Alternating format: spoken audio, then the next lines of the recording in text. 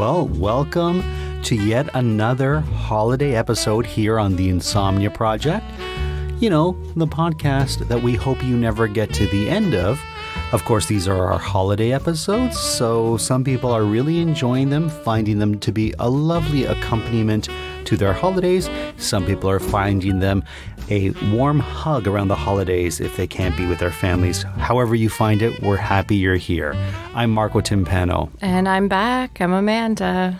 Amanda. this episode's coming a little bit later than I would have anticipated, but I hope you enjoy it nonetheless.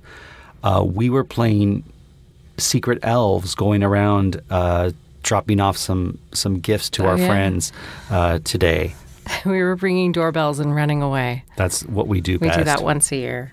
At least. I did it last year too with Christmas cards. Did you know that? No. Yeah, the Christmas cards. I was late in getting them out last year, so the our our people that are kind of close to us, I put little candy canes. I I did a little ornament and candy canes on the card and like and put them in people's doors. Oh. Yeah. Sweet. Saves on the stamp. Yes, I used that savings for candy canes. Nice. so, speaking of candy canes, brings me to the topic of today's episode. Hmm. Today's episode is the gingerbread episode. Can we broaden this to all holiday treats, or is that No, just too much? Gingerbread only.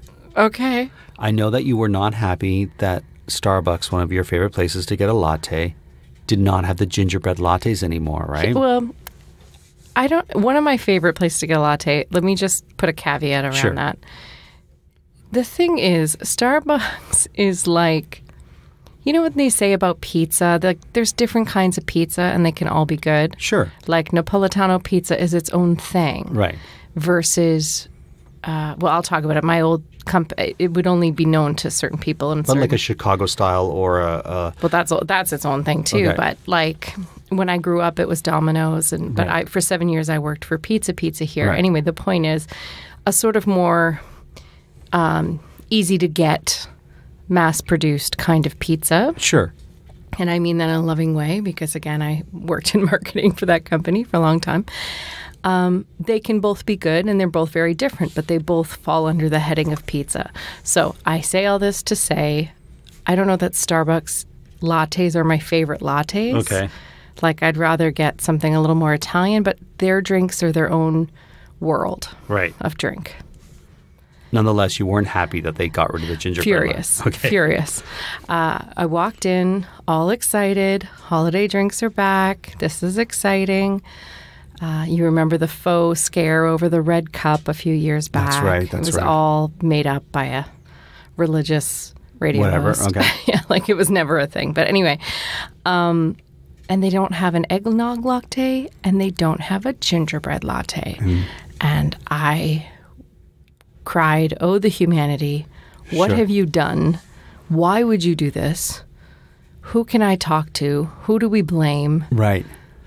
Who did this to me and why? Do the Starbucks gods hate me? okay. So, and I, to be honest, I haven't gone nearly as much as I would normally go this time of year. Because of that. Well, there you go. They lost a customer. The gingerbread latte was like the latte. Like I would get them, I would get them iced. Right. I would get them not iced. Now, do you like gingerbread? I love it. You love the taste of it? A ginger, like I a- a do, but I l- gingerbread person, man I or woman a or other. soft gingerbread. I don't oh, necessarily okay. like the crack, which I don't. I guess is sort of not the traditional version, but I I have bonded teeth, so anything hard I try to avoid. Okay, so it's not because you necessarily like it better, but it's because it's gentler and kinder on your teeth. And I like a chew, Okay. like a I like a chewy cookie. I like a chewy gingerbread, but Okay. that's kind of harder to find. Do you like it when they put a little piece of ginger on your gingerbread cookie if you go to a store to get them? No, Okay. no, I like a soft gingerbread person, man or woman. I think they're men, but uh, No, they can be whatever you want them to I, be. I guess, but we call them gingerbread men. I mean, that's I don't really you don't really hear gingerbread woman much, but Well, I say gingerbread gingerbread people. do you? Now I do. Sure, I do. Okay. Well, as a kid, there was a consignment shop in the town, one of the towns that bordered my town. And so my mom I don't know, every few months or once a month, we would go to the consignment shop and get rid of our old clothes or whatever old dresses and things that I had grown out of, and my sister had grown out of. And uh, I guess because you know, I had a brother. My mom was like, okay, that's it. We don't need any more of these girly things. And so I loved going to the consignment shop. I see. Not just for my love of thrifting clothes, that I guess probably started at a young age, but because there was a bakery next door and it always smelled like gingerbread. That's one of the things I have a problem with with regards to, you know, air fresheners and plugins and mm-hmm. o- oils that smell like food, in particular. Oh, really? gingerbread. Yeah, like you can get a candle, especially around the holidays, that's a gingerbread candle. You don't like it? No, because then I, if you light that candle, all I want to do is find the source and eat it. Right. And so it makes me hungry for gingerbread. That's fair. So I remember a friend of mine had bought some of those plug-in things that that make your car or your home smell like whatever Mm-hmm. scent you want. And he had bought the gingerbread, and he's like, I threw it out the window because I couldn't. I couldn't. It was Jeff actually. Hmm. Jeff um, from the Hanukkah episode. In case you want to write your letter to people who litter. Um, no, he just said it metaphorically, but but he said he couldn't he couldn't because it made him hungry. And apple pie is one of the worst. Gingerbread and apple pie scents are one of the worst for me. Not holo- holiday related, but plug in related. Okay. Um, our dear friend Lois, has she been on the podcast? She has. If you want to listen to her podcast, she talks about quilting. I think it was Oh, in our yes. second or third year, so Avid you have to go back. Yeah.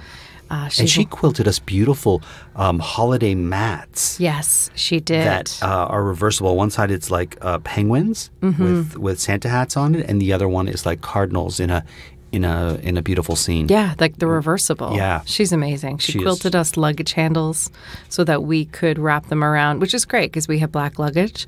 So you'd like to have like uh, something identifier, and they're like quilted little luggage handles that you wrap around the handle. So that when it comes off the carousel, you can spot it. Yeah, Yeah.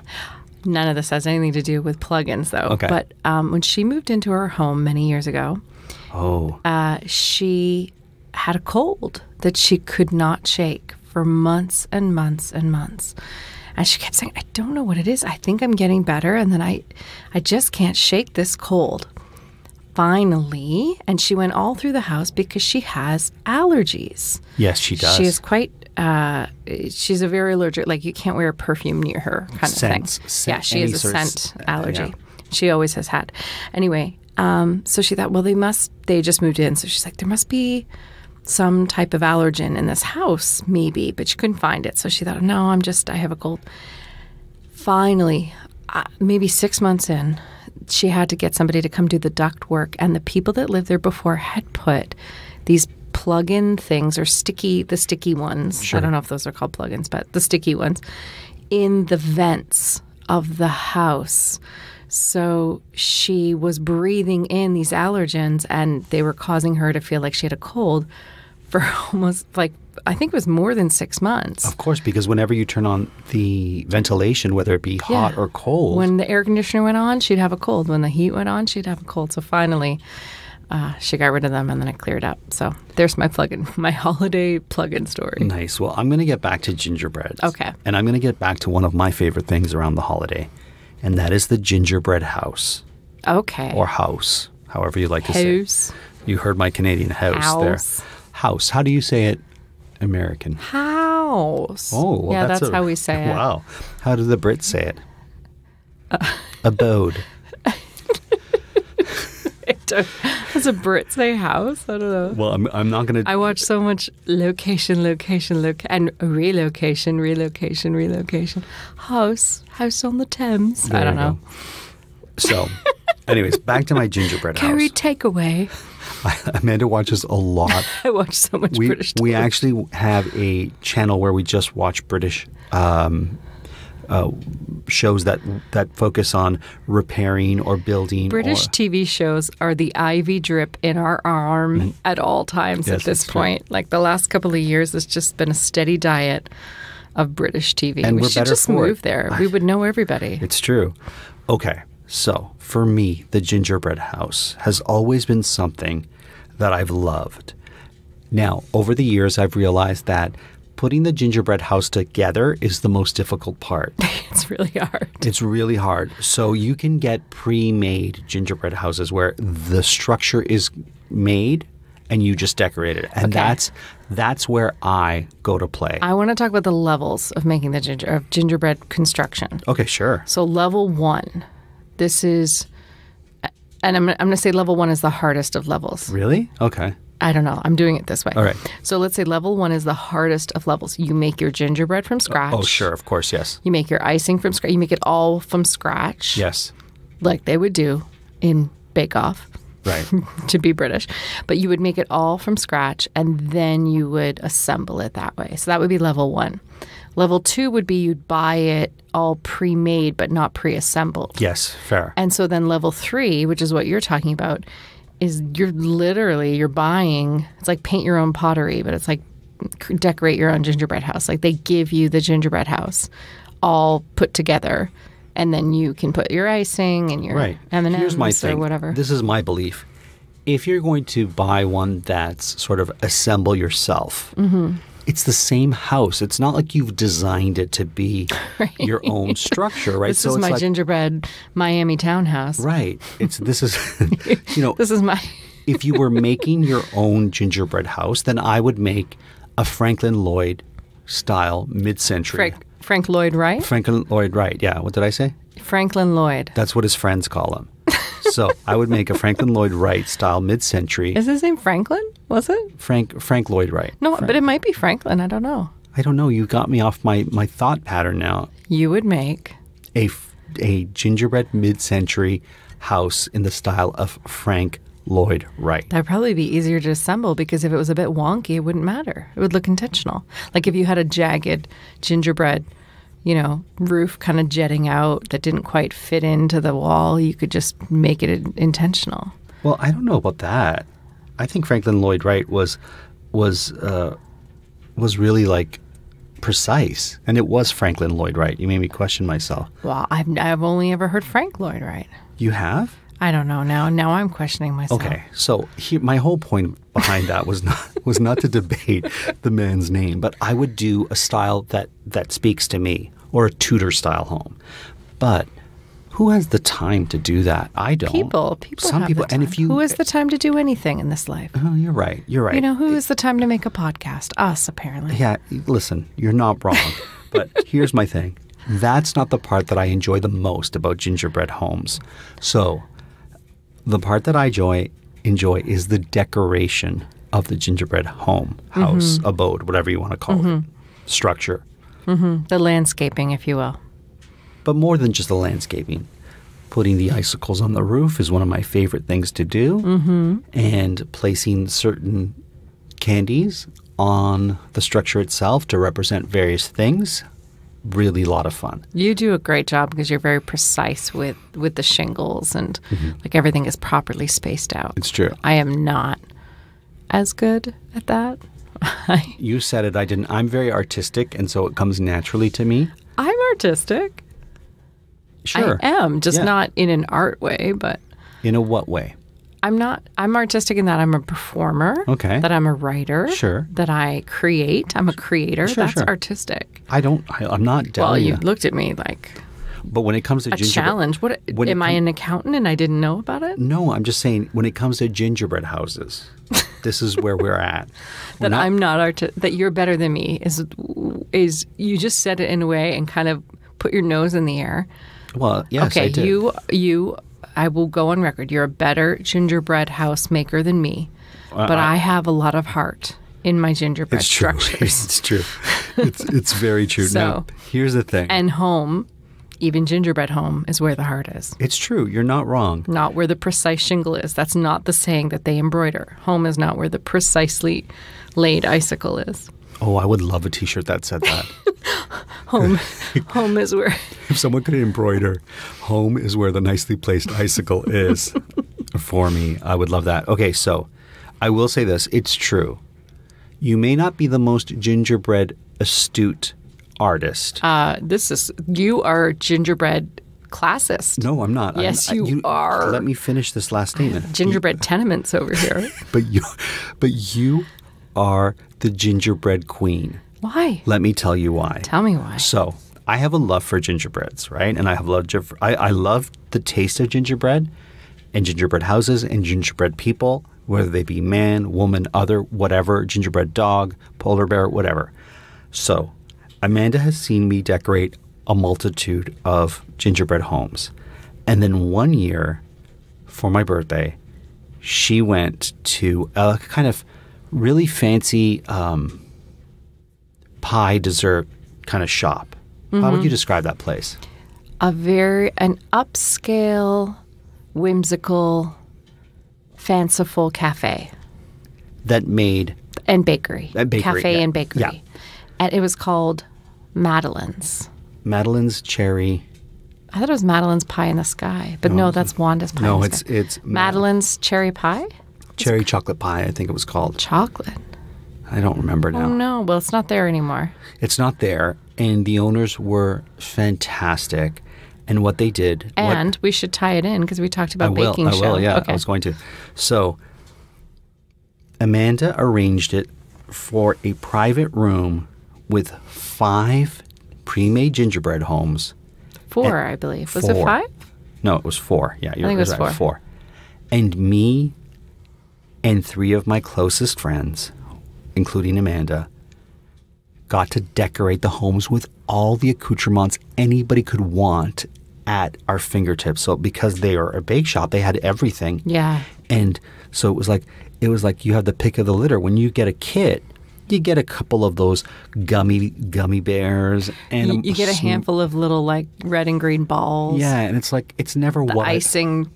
You don't really want to It's never it. what I want.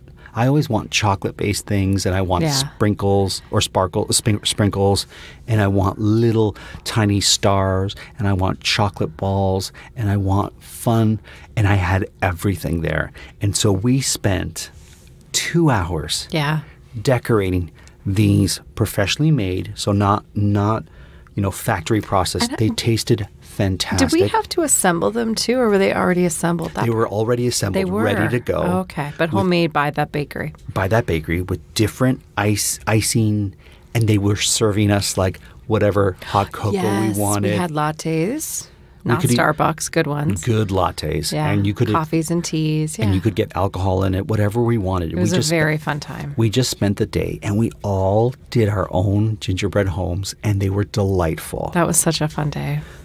So, all that to say, the owner of that shop, which I can now confirm because I looked it up, is called Madeline's Cherry Pie and Ice Cream, which used to be on Bathurst, is no longer there, sadly. But the owner of that place is the judge on the Canadian baking show, mm-hmm. Kyla Uh, I believe it's Kyla Kennaley. Kennaley, that's right. Yeah. And she's fantastic. And she had set that all up so many years ago. So amazing. She was so lovely to deal with, and they were so lovely. And I'm glad that even though that our favorite place was closed, uh, and we had another birthday sort of thing that happened there for our friend Dale's birthday. That's right. Yeah. It was such a A secret agent birthday, and I was stationed as a secret agent there. And didn't she have to eat the? she had we I had the clue under the slice of cake, so she had to eat the cake to reveal the clue. That's right. That's right. We made her go all around the city to different locations, uh, different locations she loved. Yeah. To to uh, find the clues of where her party was going to be. Mm-hmm. Anyways, we made those uh, gingerbread homes and had such a great time, and everyone got to take home the most delicious gingerbread home I've ever had. It's true. That was the gingerbread house to to uh the gingerbread house to end all gingerbread houses. It's true. I guess Now- that's what I'm trying to say. One of my friends on Facebook said, "What am I supposed to do with a gingerbread home after the holidays?" And I'm Eat like, it. "Eat it." I guess there's people who don't eat them, Well, that's the thing. If you get one of those kits, right? they're edible, but do you really want to eat it? We've we've done it before. We've had one sort of sitting and then we'll like gnaw away at it and kind of half the roof goes off and then we're like, "Are you done with this? I'm done with this." And then off it goes. I will dip that cardboard structure into my coffee and eat it like it's my job. But it, I think it would be so great if you did like the whole make your own gingerbread, like actually did it all from scratch. That Sure. would be amazing. And and there are people that do that.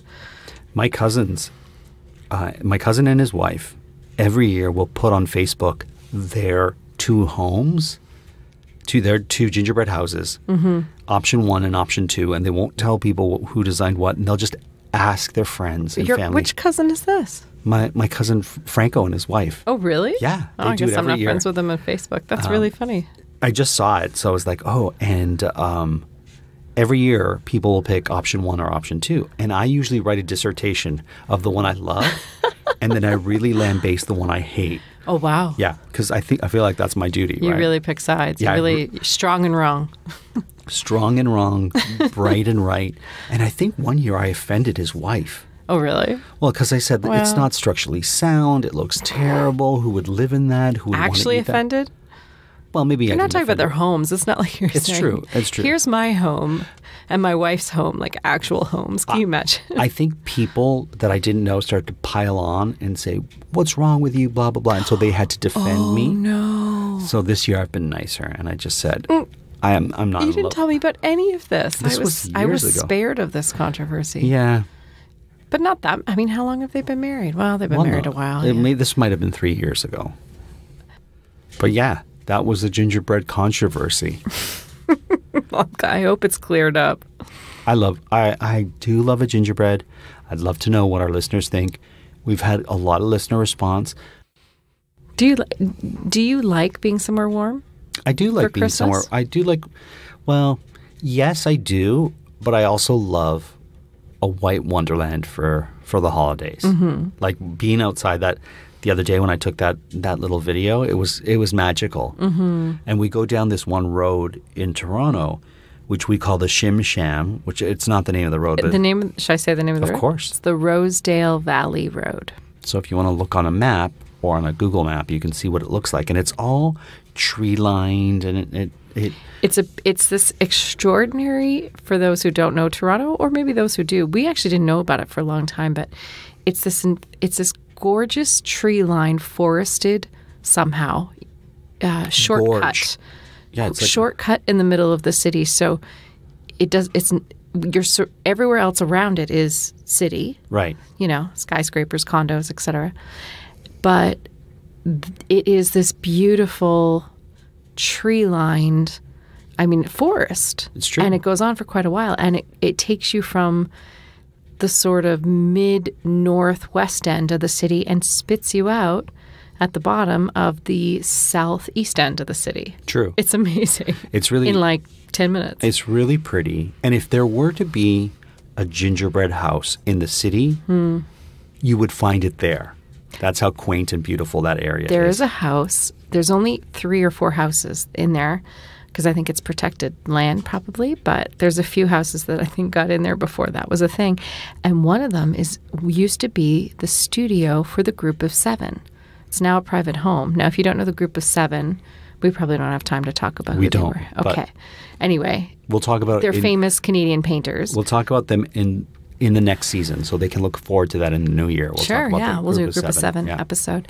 Um, but for those who do know the group of seven, it's actually someone's private home that they bought, which is like it's really a Canadian landmark And it used to be a studio for one of them, right? for all of them. Okay. That's why it's so.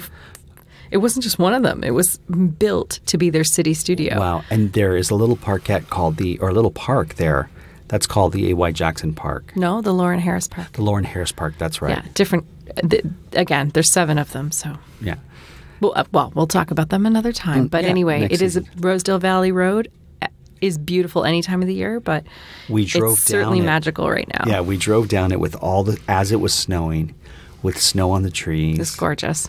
It was gorgeous. There's a really old little cemetery there too that's really, Mm-hmm. really picturesque. And it was, it was just magical. It was magical, and it was yeah, it was definitely snowing pretty right. hard. Before this episode ends, what's key for you when you're decorating a gingerbread house? Okay, texture, same as any decorating. Okay.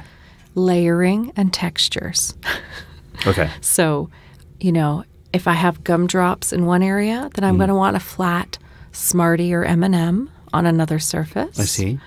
I also like for a house, any house to have the embodiment of the people that live in it. So movement and life. So I would like in my gingerbread house or around it, gingerbread people, gardening, laying on the snow, living their best life. Okay.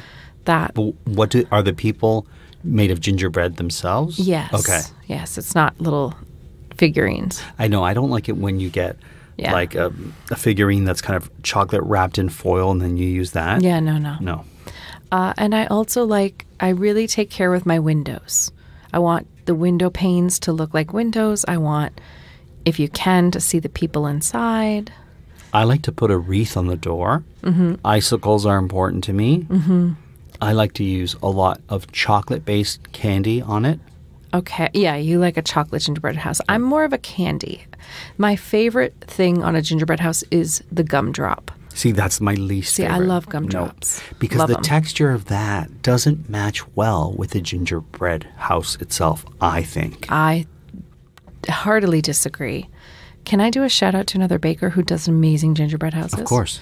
Arlene Lott of Arlo Designs just posted a gorgeous gingerbread house that she did actually for a move uh, for a TV show called Sex Life, I believe, Okay. on Netflix, and um, she she does amazing work, and we can Attest to it. you you should have her as a guest on the podcast. I will. I will. Yeah, she's so She's amazing. we wonderful. we You just love her. You should follow her on Instagram if Arlo A R L O Designs. But anyway, she yeah she has a she's been doing Yule logs as well. Oh Some Oh my God. beautiful Yule logs, A Yule log. like chocolate Yule logs. Do oh, you like a Yule log? I I think yeah.